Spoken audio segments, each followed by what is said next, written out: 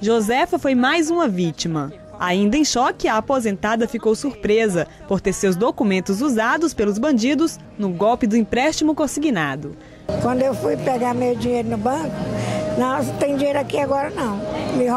Você não já fez empréstimo? Eu digo, não, meu não. Os dados da Previdência Social apontam que nos últimos nove anos, mais de 144 mil beneficiários sofreram esse tipo de golpe. O número de reclamações aos empréstimos consignados continua alto.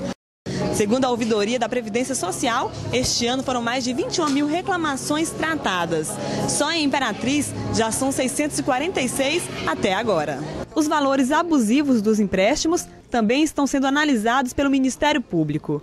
A ausência de uma delegacia especializada ao idoso está dificultando o andamento dos processos. Os riscos são enormes, as taxas de juros também têm repercutido bastante no orçamento é, financeiro de cada idoso. Eu acabava de falar com uma idosa que contratou 1.800 e está pagando 4.000.